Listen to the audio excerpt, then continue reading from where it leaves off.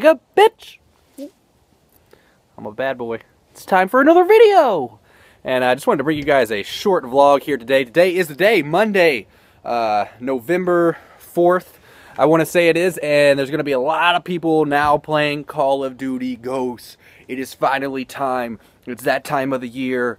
Basketball, football, baseball is over and Call of Duty Ghosts. The game's coming out today. This is a chance uh, that everyone longs for a fresh start, uh, you know, uh, after a year of uh, uh, Black Ops 2 and, um, you know, people get to have redemption and have another chance at becoming pro players. You see amateur players coming up out of the ranks coming out of nowhere and becoming pros. You see uh, new YouTube stars, new streamers, all kinds of stuff. It's a fresh start for everyone, including us at the Optic House. But I just wanted to make a short little vlog letting you guys know that our stream will be back online today at 3 o'clock Central Standard Time. So that's 4 o'clock uh, Eastern, that's 2 o'clock Mountain, and that's 1 o'clock p.m. Pacific time. I'm not sure uh, what those those times are uh, across the pond and across the world. I know we have viewers from all over, so hopefully you guys can do the math on that and figure out when in your um, in your time zone we'll be live. But yes, we'll be there with Call of Duty Ghosts,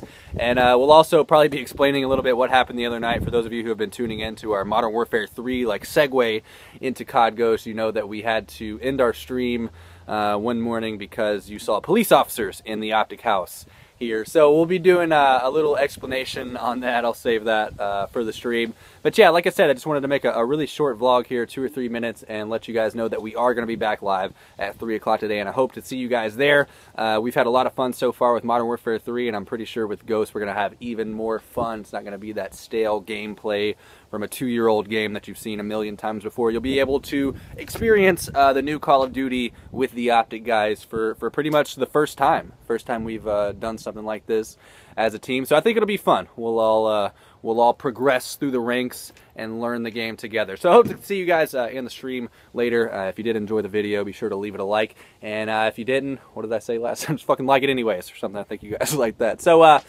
as always, I don't really have an outro, so I'm going to leave you with a little awkward silence bye. And I'll see you at 3 o'clock.